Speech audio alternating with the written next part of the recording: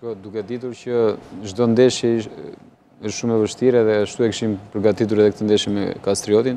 Problem pa diskutim që është edhe fushat ku luajmë, se është tjetër gjë kur stërvitesh gjatë gjithë javës në sintetik, edhe pastaj detyrohesh të lozësh në bar natyral. Është një minus për ne. E, pa diskutim që nuk e nisëm mirë ndeshjen duke pësuar atë gol që mund të shmangej Gjithsesi, gjëra që ndodhin, e rëndësishme është që në fund morëm tre pikët, e përmbysëm rezultatin, kemi bërë ndeshje shumë herë më të mira në ndeshjet në vazhdim, por s'kemi marrë pikët, siç kemi qenë me Partizanin apo edhe me Korçën. Por kishte ardhur një moment që duhet duheshin pikët, ato pikë i morëm pavarësisht kundërshtarit. Tani jemi pak më të qetë. Është një test Kjo kur është... pëson në fillim dhe pastaj rikuperon për... Shiko, mos pësosh është akoma më mirë. Pa diskutim që krijon një lloj sigurie, por edhe që pëson edhe shënon dy pastaj është akoma më mirë. Do të thotë që skuadra ka forcë, gjen energji brenda ndeshjes, edhe e kthen atë rezultatin në favor të vet. Pa diskutim që nuk duhet të ndodhi gjithmonë kështu, sepse është shpenzim shumë i madh energjish. Duhen të jemi më cinikë edhe në pjesën e pësimit të golave. Kemi, kemi pësuar shumë gola me thënë të drejtën, por në, në javët në vazhdim duhet të punojmë te kjo pjesë, sepse në si, si rezultat i lojës që kemi zhvilluar, besoj që nuk, është, nuk ecën paralelisht me pikët që kemi marrë deri më tani. Që nga kam, java e parë deri në javën e nëntë. Kam dëgjuar shpeshherë trajnerin Cungu që të ketë kritika edhe pas fitoreve, përgjithësisht. Si e shikoni këtë moment dhe sa e rëndësishme është kjo analizë e Cungut për ju? Shiko, çdo trajner ka filozofinë e vet të të punuarit edhe të të analizuarit gjërat si para dhe edhe pas ndeshjes, pa diskutim edhe është gjë personale e tij. E rëndësishme është që neve si ekip dhe si lojtarë të gjitha idetë e tij edhe ato çka punojmë gjatë gjithë javës, t'i implementojmë gjatë ndeshjes edhe të japim maksimumin pa diskutim, se të gjithë jemi për një qëllim që të marrim atë rezultatin edhe të përmbushim objektivat që na vendos klubi. Kështu që nuk është se ka një distancë midis trajnerit dhe lojtarëve. Thatë ju pak më parë që keni pësuar shumë gola, a e ka vënë ndonjë çikë në presion repartin e mbrojtjes kjo gjë? Shiko, kur pësohet nuk është vetëm reparti i mbrojtjes, edhe kur shënohet nuk është vetëm reparti i sulmit. Shënojmë apo pësojmë gjithë si skuadër. Humbasim apo fitojmë, kështu duhet parë. Ti ndien presion në të dy krahët tani, sepse edhe po shënon, Dhe ke presionin që ylli pse nuk shënove? Jo, unë mundohem ta kompensoj pak. Dhe kur pëson ylli kujdes? Pa diskutim, shiko, është, nëse e mbrojmë të gjithë si skuadrë, është më e thjeshtë, për të gjithë edhe për mbrojtjen, meqenëse është reparti i fundit edhe për portjerin. Nëse shënojmë të gjithë bashkë dhe nuk fokusohemi dhe nuk varemi vetëm nga një sulmues, është akoma më e thjeshtë edhe për të shkuar drejt rrugës së golit, edhe drejt fitores, sepse në një moment të caktuar një individ nuk mund të jetë mirë dhe nëse të tjerët janë për të për ta mbushur atë moment jo të tij, atëherë është akoma më mirë për për për ekipin. Kështu që gabimet pa diskutim që duhen të rikuperohen sa sa më shpejt, ato gabime që ndoshta duhet të të zgjateshin në në kohë gjatë gjithë kampionatit Ne i kemi bërë shumë shpejt, kështu që që nga ky moment në vazhdim ne nuk duhet të bëjmë gabime sepse më mbrapa do do krijohen diferenca shumë të mëdha. Pse nuk fitoni dot me të mëdhatë? Kukësi e ka patur specifik që ka fituar me të mëdhatë. Në këtë kampionat e shikoj pak mangësi. Problemi se nuk vetëm nuk fitojmë, se duhet diskutuar edhe mënyrën se si ka shkuar ndeshja.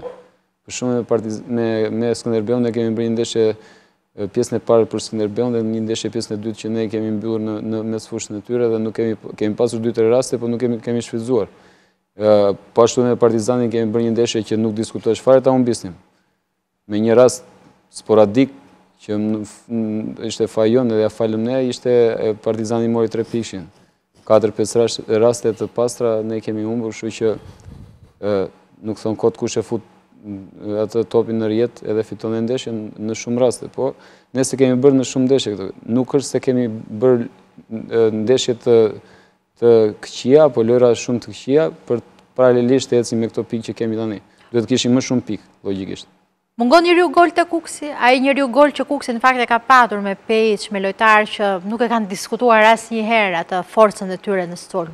Ka një mangësi tani? Shiko, jo, është e vërtetë gjatë gjithë këtyre viteve Kukësi ka pasur një bomber në ekip, por mendoj që ne kemi Reginaldon, ai ka dalë i treti vjet, me sa di unë pas Sowe dhe Gurit, Kështu që nga të vetmit golashënues që ka pasur vjet, ai është në kampionatin shqiptar, pa diskutim që e ka nisur shumë mirë me golat që ka zhvilluar dhe kanë na kanë ndihmuar në pjesën e ekipit.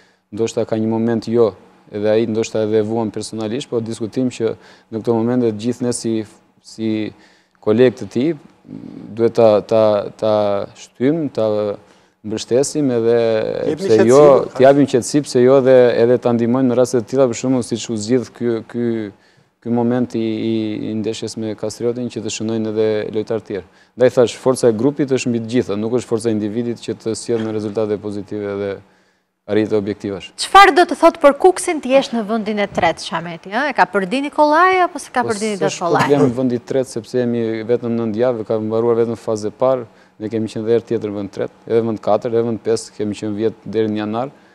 Pastaj kemi marr ë shkallët një nga një pa diskutim. Të thashë dhe më përpara, e rëndësishme është që lojrat i kemi bërë shumë të mira. Kemi bërë disa gabime që nuk duheshim bërë, në, të thashë, në më shumë në pësimin e golave. Kemi ngrënë më lehtë se sa duhet, sepse nuk na takojnë ato golat neve. Gjithsesi, kur ndodhin këto gjëra, mësojmë pa diskutim nga i pari deri te i fundi dhe do mundohemi që në ditët në vazhdim, apo në javë në vazhdim, t'i minimizojmë, të jemi më cinikë edhe të shfrytëzojmë edhe rastet që na japin para portës në çdo ndeshje. Sa mungon faktori fushë, sa i mungon Kukësit Kukësi dhe sa po penalizohet skuadra nga kjo gjë? Po pa diskutim, ne stërvitemi Tiranë, ndeshjet vjet i kemi bërë në Kukës edhe pa diskutim që çdo ekip pa shpi është problematike. Edhe duke ditur që edhe një pjesë e mirë të ndeshjeve në Kukës ne i kemi pasur si armë të fortë për për vazhdimin e kampionatit. Tani nuk një herë lozim në Elbasan, një herë lozim në Shkodër. Ë çoroditesh në një farë mënyre ndoshta nuk është justifikim për gjendjen momentale të të Kukësit në në renditjen e, e Superligës shqiptare, por ndikon janë shumë faktorë të vegjël që po të mblidhen të gjitha bashkë Ndikojnë sadopak edhe në mënyrën edhe si përshtatet edhe si paraqitet ekipi në fushë. Nëse do dilni kampion do të jetë e para skuadër kampion që do të jetë pa shpi. Nuk do dijë ku të festojë. Mirë, ka ulëritur Gjici këtë vit ndonjëherë ashtu fort siç ulëret ai që dëgjohet Jo, unë kam një gjashtë vjet që nuk është se dëgjoj shumë ulërima që të ulërasi Gjici. Nuk e ke dëgjuar asnjëherë? Unë kam thënë edhe them gjithmonë që çdo gjë bëhet për të mirën e punës në mënyrë konstruktive, se edhe ne vetë kemi mënyrën tonë të të shprehurit, po kjo s'do të thotë që ne kemi mënyrën e gabuar të të shprehurit.